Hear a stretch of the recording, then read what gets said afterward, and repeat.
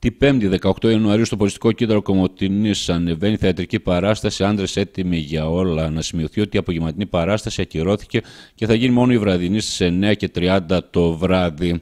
Να σημειώσουμε ότι δύο από τους βασικούς ηθοποιούς είναι ο Αντώνης Καφετζόπουλος και η Σοφία Βογιατζάκη. Για φέτος στο ετήσιο πρόγραμμα δράσης της η ΔΕΚΕΠΑΚ περιλαμβάνει ένα καινούριο κύκλο που είναι κύκλος ε, μουσικής δωματίου. Έχουμε ετοιμάσει λοιπόν ένα πρόγραμμα το οποίο ξεκινάει από μεθαύριο το Σάββατο 20 Ιανουαρίου και μέχρι την, ε, τον Απρίλη που στο, στη διάρκεια από 10 μέχρι 14 θα γίνει το γνωστό σε όλους μας πια ε, φεστιβάλ κιθάρας. Έχουμε προγραμματίσει τέσσερις συναυλίες οι οποίες ε, θεωρώ ότι θα είναι πάρα πολύ ενδιαφέρουσες και απευθύνεται λοιπόν σε όλο τον κόσμο ε, όχι μόνο αυτούς οι οποίοι αγαπούν την κλασική μουσική αλλά και όλους αυτούς οι οποίοι ε, δεν τη γνωρίζουν και θα ήταν καλό να, να τη μάθουν ή να παρακολουθήσουν αυτές ε, τις εκδηλώσεις. Ε, τέσσερις λοιπόν ε, συναυλίες, 20 Ιανουαρίου, 24 Φεβρουαρίου, 10 Μαρτίου και 24 Μαρτίου.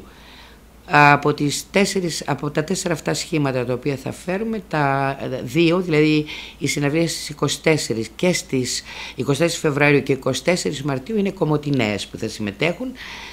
Ε, έχουμε σκοπό να το συνεχίσουμε αυτό και μετά το Σεπτέμβρη μέχρι το τέλος του 18 ε, γιατί εξ ανάγκης θα σταματήσουμε τον Απρίλιο, έχουμε άλλα πράγματα, ε, άλλες εκδηλώσεις που είναι πολλές για τη ΔΕΚΕΠΑΚ, είναι τα Ελευθέρια, είναι η Πανευρωπαϊκή Μέρα της Μουσικής, είναι το Φανάρι ε, Summer Festival, οι εκδηλώσεις που γίνονται στις παραλίες μας, η μπύρα, οπότε είναι πάρα πολλά και άλλα τα οποία ενδιάμεσα προκύπτουν.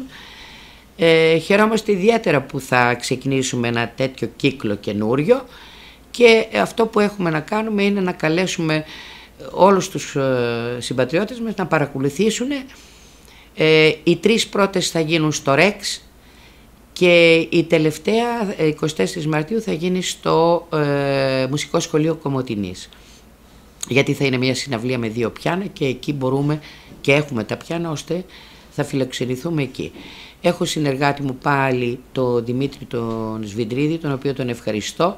Με αυτόν είχαμε ξεκινήσει τότε και την ιδέα του φεστιβάλ κιθάρας και είδατε ότι τελικά καταφέραμε και έχουμε την ε, ε χαρά ε, να έτσι το βλέπουμε να αναβαθμίζεται συνεχώς. Φέτος επειδή έχουμε κυκλοφορήσει ένα προγραμματάκι για, τις, ε, για τον κύκλο αυτόν της μουσικής θα δείτε μέσα ότι αναφέρουμε και το σαν τελευταίο το φεστιβάλ Κιθαραστάκης που φέτος θα έχουμε την τιμή ε, στις 13 του μήνα να φιλοξενήσουμε την, την κρατική ορχήστρα Βορείου Ελλάδος, την κρατική ορχήστρα Θεσσαλονίκης, οπότε είναι και αυτό ένα σημαντικό.